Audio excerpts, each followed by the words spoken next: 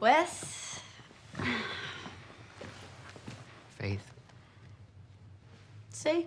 Fritz know how to say goodbye. Angel wanted a hug. No, I didn't.